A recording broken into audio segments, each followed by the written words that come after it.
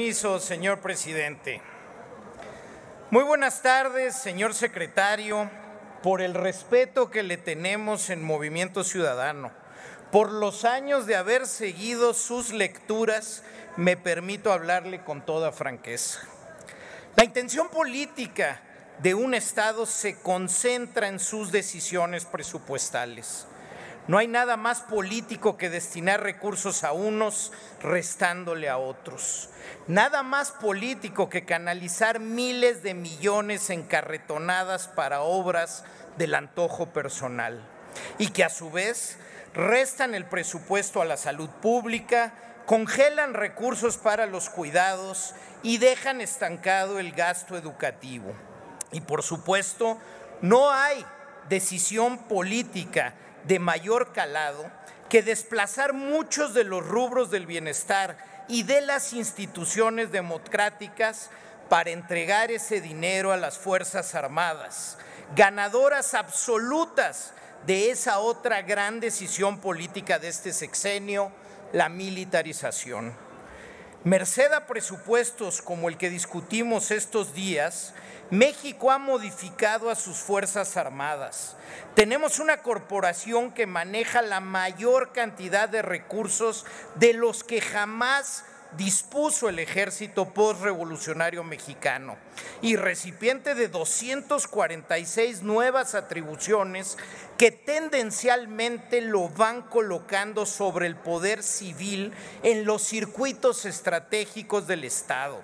La seguridad pública, la política migratoria, la obra de infraestructura, los puertos, aeropuertos, las aduanas, exceptuándose de toda la obligación de transparencia y vigilancia social, esgrimiendo como pretexto permanente la seguridad nacional.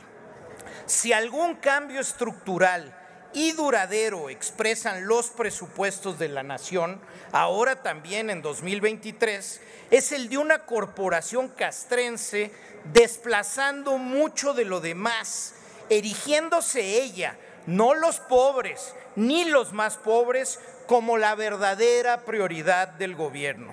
Un solo dato, el crecimiento real del presupuesto militar, marina y Guardia Nacional entre 2018 y 2023 es de 44.4% en términos reales. No hay sector, agencia ni ramo con un aumento tan alto y ostensible. Por decisiones políticas como esta, tenemos un presupuesto que favorece a una corporación, pero no al crecimiento y tampoco al bienestar general.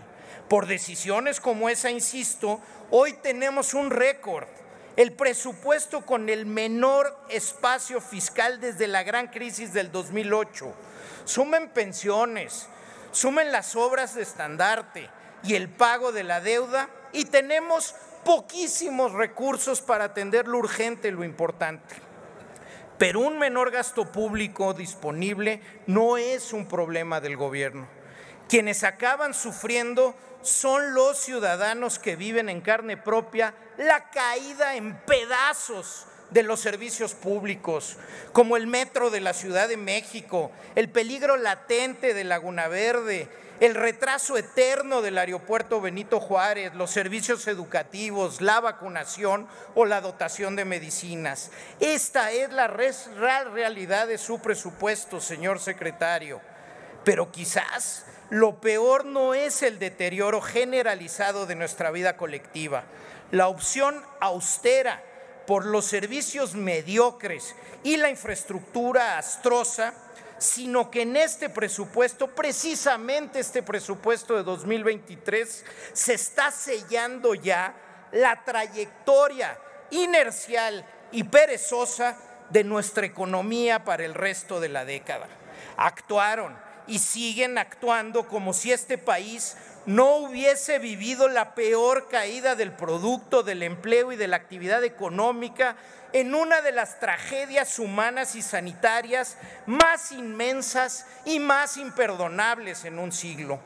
En un juego de autismo político y económico, en 2020, 21, 22 y ahora en 23, fingen que Aquí no sucedió una pandemia que mató a 750 mil compatriotas y se dan el lujo de reiterar sus cábalas, superávit primario y ninguna reforma fiscal.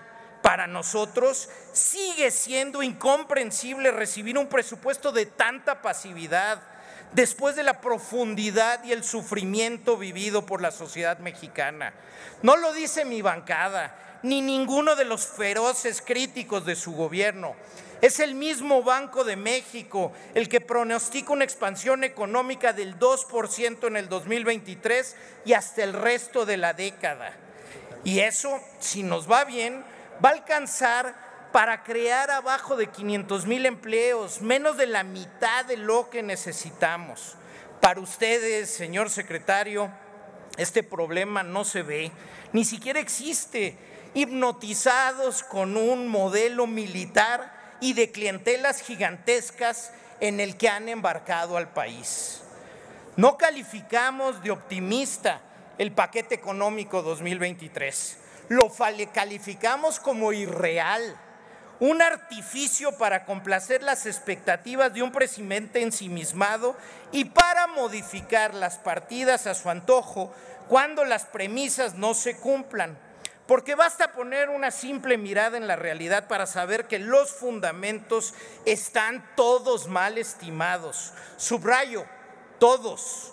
El crecimiento esperado, la inflación, tasas de interés y la recaudación prevista según la cual aumentaría en 360 mil millones en un solo año, porque mágicamente ya no será necesario el subsidio a las, gasolinas.